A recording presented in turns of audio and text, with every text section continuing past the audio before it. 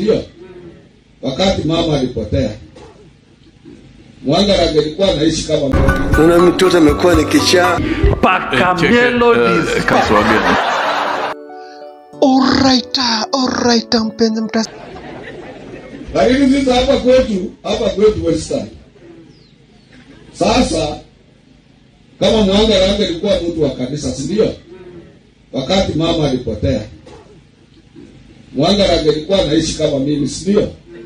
Si angelikufa na mtu mwingine kwa hii nyumba.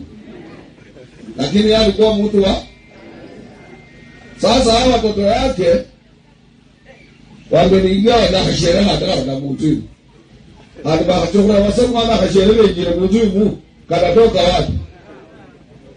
Ama tuseme sasa mimi nikipotea, hizo tu unajua, niko damu tu huyo ndio baba ya sasa. Sisi baba yetu ni William Samoei Ruto.